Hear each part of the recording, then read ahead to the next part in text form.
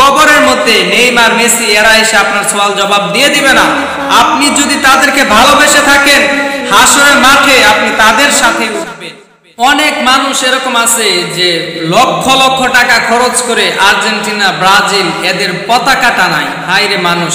এই লক্ষ টাকা দিয়ে যদি আপনি গরিব মানুষকে, অসহায় মানুষকে সহযোগিতা করতেন, সাহায্য করতেন, তাহলে আপনার জীবন সফল হতো। আপনি এই কি কাজের মধ্যে আপনার লক্ষ লক্ষ টাকা ব্যয় করতেছেন? এটা আপনাকে একটু, আপনার কি একটু চিন্তা হয় না যে টাকা পয়সার হিসাব আল্লাহ পাক নেবেন? আল্লাহ পাক আপনাকে অর্থ সম্পদ দিয়েছেন, এগুলো আপনি নিজে উপার্জন করেন নাই। আল্লাহ পাক আপনাকে দিয়েছেন, বিদায় আপনি উপার্জন করতে পেরেছেন। আল্লাহ পাক বলছেন, যে সমস্ত রিজিক যে সমস্ত অর্থ সম্পদ তোমাদেরকে দেওয়া হবে, সেগুলো তোমরা দিনের রাস্তায় খরচ করো। আর আজকে আপনি কিসের মধ্যে খরচ করতেছেন? লক্ষ লক্ষ টাকা খরচ করে আপনি আর্জেন্টিনা, ব্রাজিল এদের পতাকা ডরাচ্ছেন। এর হিসাব আল্লাহ পাকের নিকট দিতে হবে। এই জন্য আগের থেকে সতর্ক হন। যদি এই সমস্ত কাজ করে ফেলেন, তওবা করে আল্লাহর দিকে ফিরে আসুন। আপনার, আপনারই কল্যাণ হবে, আপনারই ভালো হবে। তওবা করুন জাল্লা আমি তো ভুল করে ফেলেছি, লক্ষ টাকা খরচ করে ফেলেছি অনার্থক কাজে, গুনাহের কাজে। আল্লাহ আমাকে মাফ করে দাও। এই সমস্ত কাজ ভবিষ্যতে, সামনে আর কখনো করব না।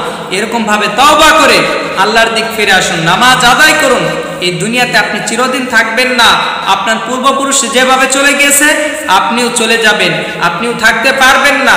আপনার গুনাহ করার শক্তি আছে, একদিন এই গুনাহ করার শক্তিটাও থাকবে না। এই জন্য আল্লাপাক যে আপনাকে অর্থ সম্পদ দিয়েছে এগুলোকে দিনের রাস্তায় খরচ করুন। হালাল রাস্তায় খরচ করুন। হারাম রাস্তায় খরচ করেন না। অনর্থক কাজের মধ্যে খরচ করেন না।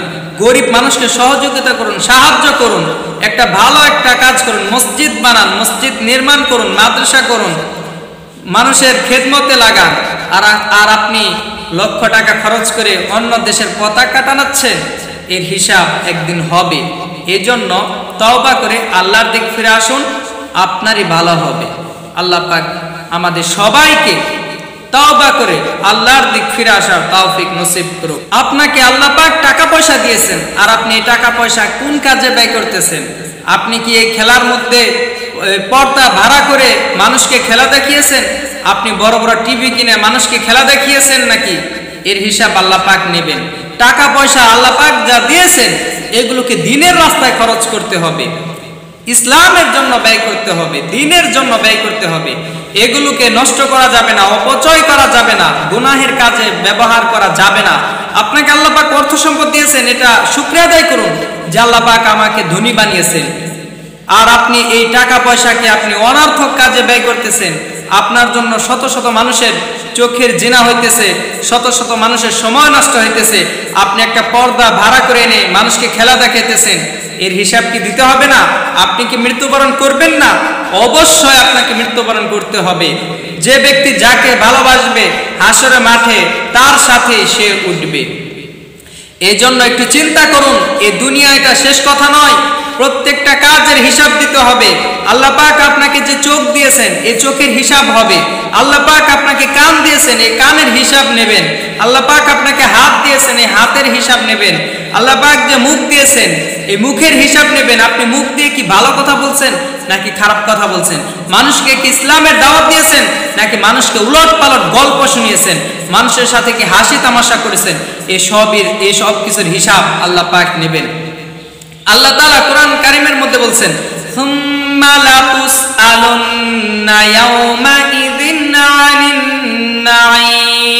সেদিন প্রত্যেকটি নিয়ামত সম্পর্কে আল্লাহ পাক জিজ্ঞাসা করবেন যে, তোমাকে পা দিয়েছিলাম, এ পা দিয়ে তুমি কি করেছ? কোথায় গিয়েছো?